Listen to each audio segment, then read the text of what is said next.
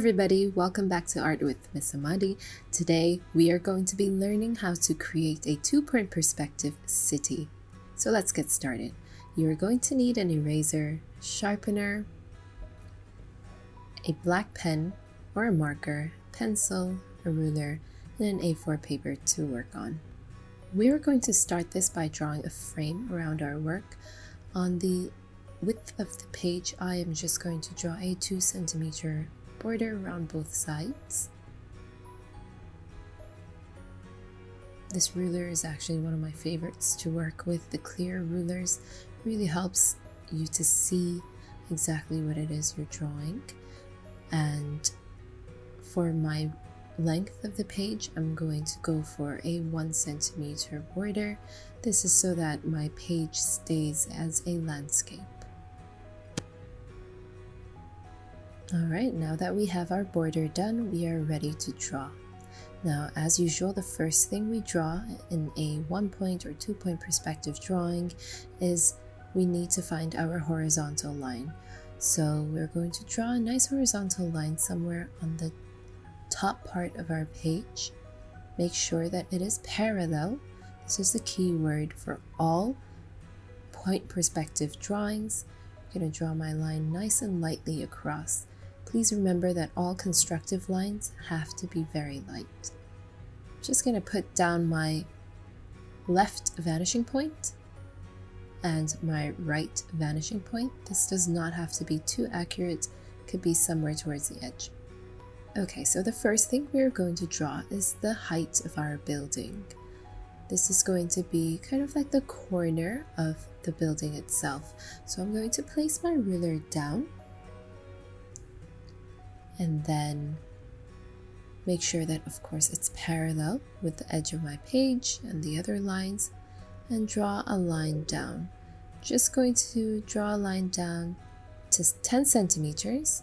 I'll have a little height above my horizontal line and work across. So on the right side this is going to join the right vanishing point just like we've done on the smaller building that we've created or the block house in the previous video. And the corners on the left side will join the left vanishing point. So I'm just going to join the last point and there we go. The next thing we are going to do is we're going to find the over the end of the building basically. So what I'm going to do is just place my ruler, go across. This could be a rough if you'd like to. Just make sure that your lines are parallel. Shift your ruler. Make sure it's straight and draw your line down. I did not measure this, but to make sure that it's accurate, of course, you can go ahead and measure the overall width of the building and make sure that you apply that to the same side. So it was around four and a half. Just going to put my ruler on my vertical line and draw the line across by shifting the ruler. And there we go, we have one building done. You can go ahead and erase the horizontal line that cuts through the building. This is exactly why we need to keep our pencil lines light it is so that when you want to erase your work, you won't find it difficult to get rid of the pencil lines. So we're going to now draw the kind of the overall pathway that sits right underneath the building. So you're going to draw a line down. Doesn't have to be too accurate. Two centimeters, fine. Join each corner into the vanishing point you'll be able to cross over and meet that one point. You can erase this line now so that it looks like it's a curb that goes around the building. We're going to add depth to this, so we're going to extend the line down a little bit more, just slightly. It could be one centimeter or even half a centimeter down so that we can add some depth to it. I'm going to do one centimeter. And from that point we are going to join that into the vanishing point again.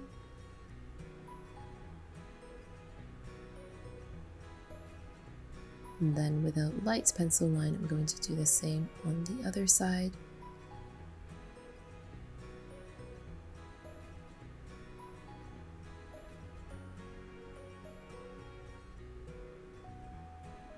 And there we go. I will continue this by drawing out the street. So this could be at random or you can measure it out if you'd like to. Just leave some space and draw a line down. So if you want to make it a little accurate, you can draw a line. Measure the space over here. So that was exactly 8 centimeters. That's pretty accurate. And dot that out and join it into your left vanishing point. So you have an accurate depiction of the street. Erase this line. What I am going to show you next is to draw the next building we're going to start with making this building a little bit shorter. So just like drawing a window or a door, we are going to find the overall width of the building that I'd like to do. It's going to be a smaller building. So I'm going to keep this at maybe three centimeters. Place my ruler, making sure that the line, the vertical line that I'm going to draw is going to be parallel and draw my line up. This building is going to be three centimeters tall.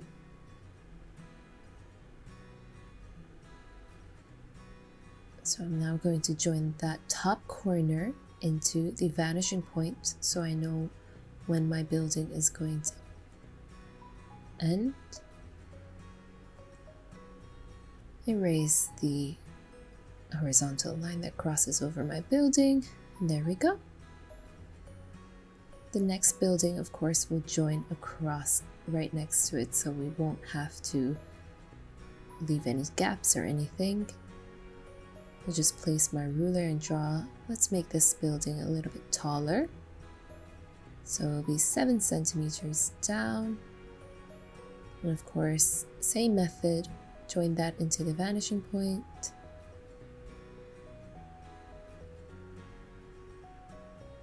and then find my overall ending of the building. So I'm just going to erase this as I go we don't get confused.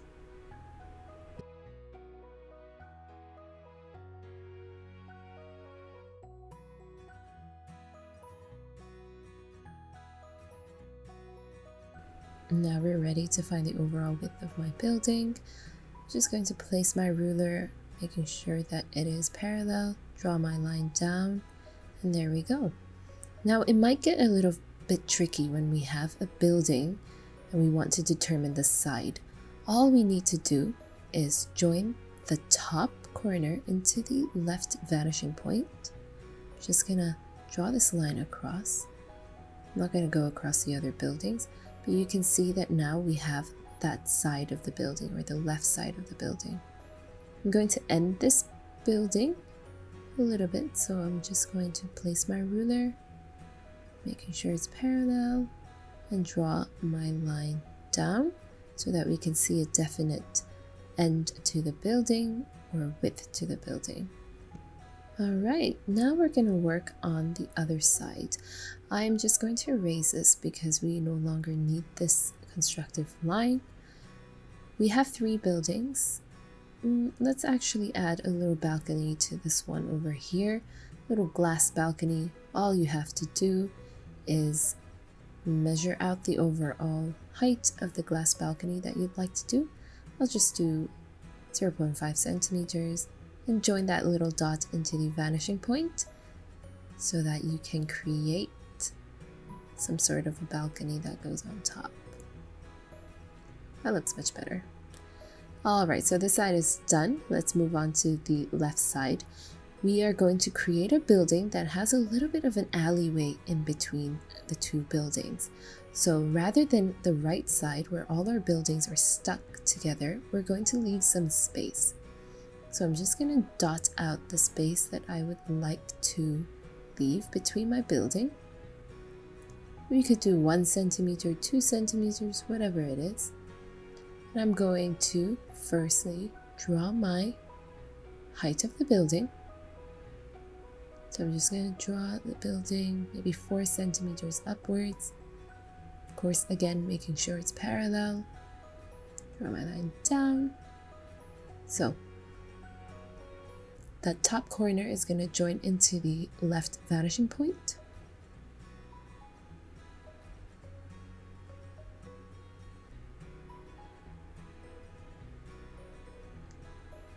and we can find the end to that side of the building, the face of the building to the left.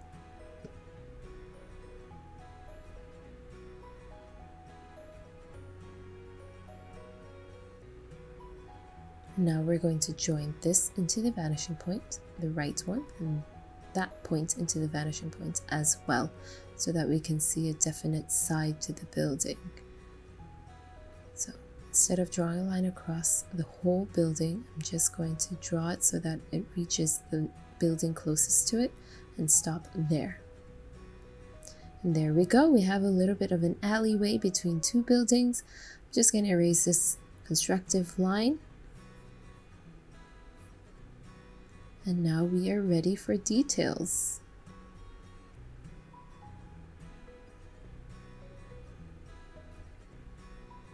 I actually erased off my horizontal lines, so I'm just going to place my ruler and redraw these horizontal lines. It's nice to have this drawn at the very end, make sure that it's still there so that it looks like our buildings are on a surface. So there we go, we are ready to create details on our buildings, doors. We all know how to do this. I will zoom through this and show you the final product all I did was keep in mind of the overall height, join that into the vanishing point, and slowly worked my way into creating details that would determine the overall aspect of my buildings with their designs. Some buildings I am going to add bigger doors, some buildings taller windows, maybe a billboard. But let's zoom through this and get to the final result.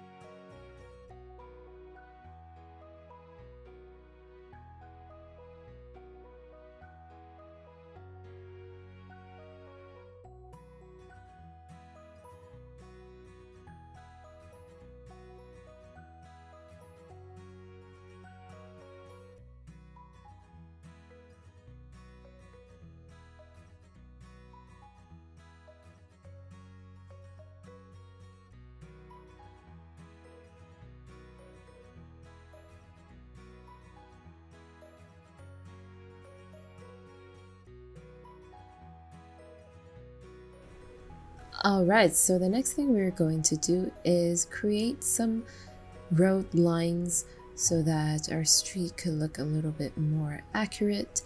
All we're going to do is point out maybe one centimeter over here, then one centimeter on the other side as well. We're of course going to join these dots into the vanishing point. I'm just going to edit it a little bit, making sure that it is straight, and then go for the same thing on the other side.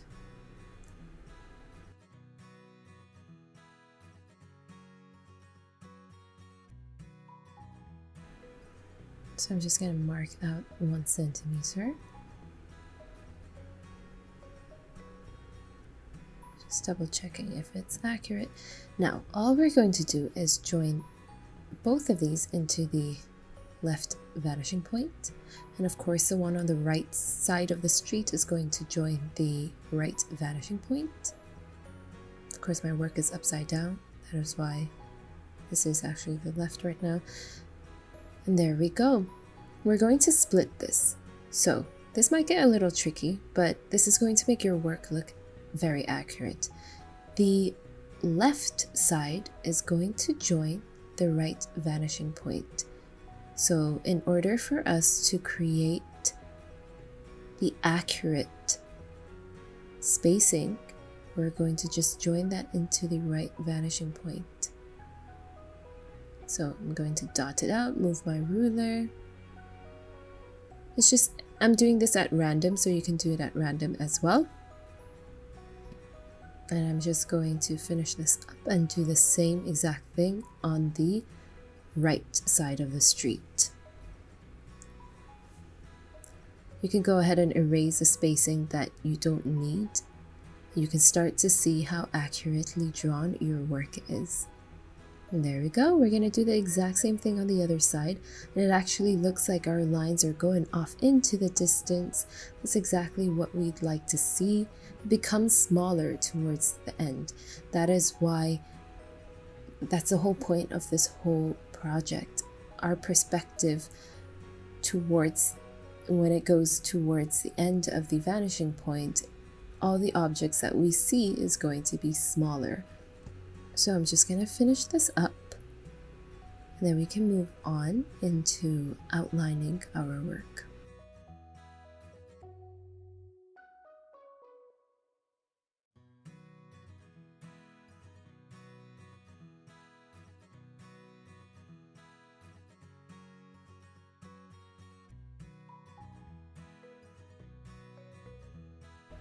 All right, how good does this look? We've completed our detailings on the building and on the street. We of course are now ready to outline our work. You can use a ballpoint pen or a a marker. I use this type of micron marker for, because it's just very light and it doesn't smudge as often. So I'm just going to place my ruler and start outlining my entire work. We'll zoom through this so that we can have a look at the work all outlined.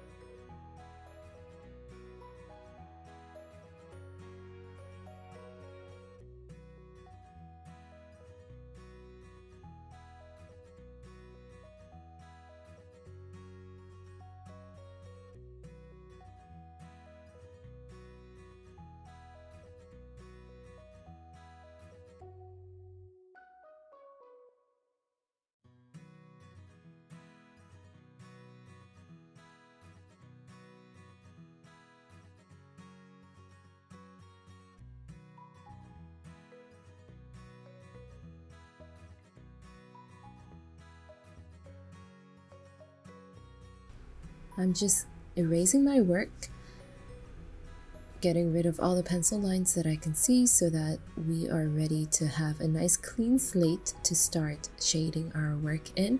Of course, you don't have to. This next step is optional. It looks nice to have our work shaded in. It looks a little bit more realistic, but our overall work should be fine, just outlined like this. There we go. We have our completed work. Um, while I was outlining, I actually smudged my work a little bit at the bottom. That was because my ruler got a little bit dirty and it picked up the ink and smudged onto my work. But it's okay. You can always um, you know, try your best to clean your ruler and work neatly. I'm just going to add the title, two point perspective city. You can add the date, your name, and your class as well, but there we have it, our overall work completed. And like I said, the next step of shading your work could be completely optional. I went through shading my work using, of course, the side of my pencil, observing darker areas, and working my way across. The end of the building would always be darker, then slowly working my way lightly across to the other side of the building. I, of course, continued this across everything that I've done. And here is the final result of my shaded in work. I hope you all learned something new today. Please understand that practice does make perfect when it comes to point perspective drawings in general. So even if you don't get it right the first time around, it is okay. The next time you attempt this work, you are going to get better and better at it. So Hope you enjoyed this video. See you all on the next one.